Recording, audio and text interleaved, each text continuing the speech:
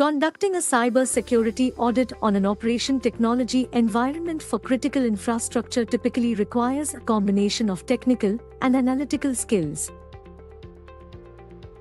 Some key skills that may be required include 1. Knowledge of industrial control systems, ICS, and supervisory control and data acquisition, SCADA, systems, as well as the protocols and communication methods used in these systems. 2. Understanding of the specific industry or sector in which the critical infrastructure operates, as well as the specific regulations and compliance requirements that apply to that sector.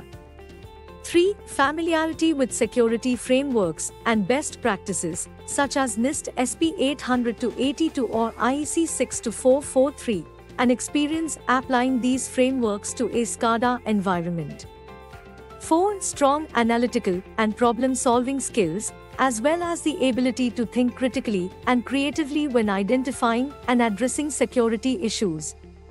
5. Familiarity with the tools and technologies commonly used in an OT environment, such as firewalls, intrusion detection prevention systems, data historian, and alarm event management systems.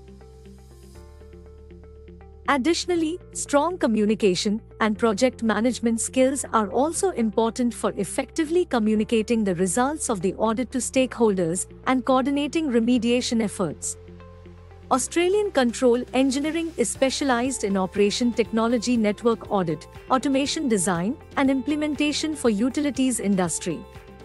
If you would like to learn more about our capability and understand how we can help you fast track your results, please contact us. We appreciate your support and likes. Please subscribe and follow us for future update. If you have any specific questions, comment below.